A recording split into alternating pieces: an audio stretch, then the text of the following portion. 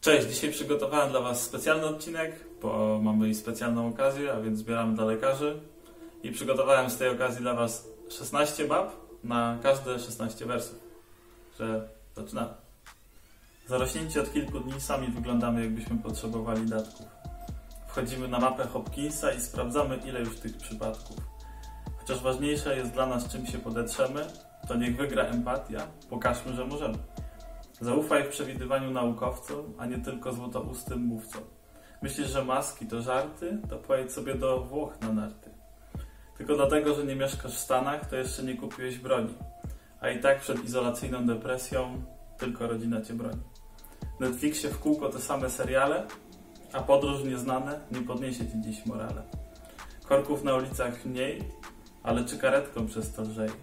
Pomóżmy medykom, oni i tak mają przesraną robotę, a kto wie, może ktoś w końcu zmapuje głupotę.